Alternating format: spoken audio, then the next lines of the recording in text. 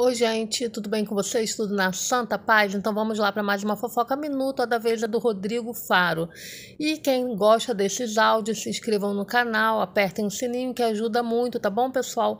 Mas vamos lá, dessa vez continuo sem rima, estou sem ideia, gente, tirando férias, porque esses artistas aprontam muito, aprontam mais do que a minha mente consegue assimilar as coisas que eles fazem. Mas vamos lá. Essa vez, Rodrigo Faro passou dos limites. Acho que ele quis se fazer de humilde, mas ele não conseguiu.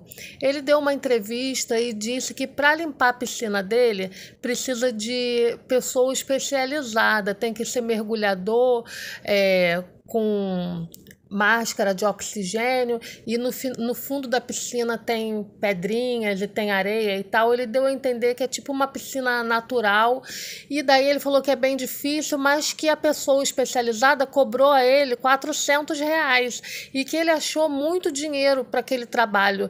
E daí ele decidiu ele mesmo limpar a piscina, ter o trabalho, mas ele iria limpar e iria economizar esse dinheiro. Agora eu pergunto, vale a pena ganhar tanto dinheiro desvalorizar o trabalho dos outros, quer dizer que só o dele é importante, só o dele pode ganhar bem, ganhar milhões. O cara cobra 400 reais para limpar a piscina, quer dizer, para ganhar o mês não vai ser só com a piscina dele, e daí ele acha aquilo um absurdo, um dinheiro muito alto para poder pagar uma outra pessoa.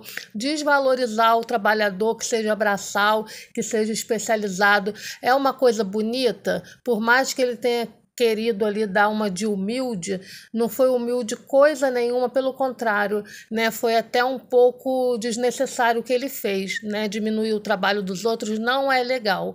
Então é isso, gente. Cada um com seu cada um e até a próxima, pessoal. Beijos, beijos, beijos e se inscrevam aí no canal.